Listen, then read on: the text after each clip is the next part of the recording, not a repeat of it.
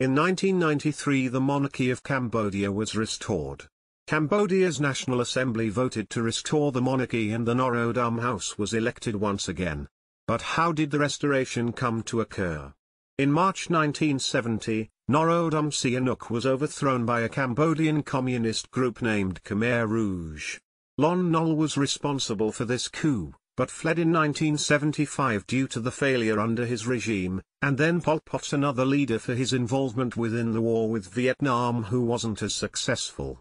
In 1979 then led by another communist group leader Heng Samrin for 13 years. In 1993 September, Norodom Sihanouk became head of state once again for 11 years until 2004.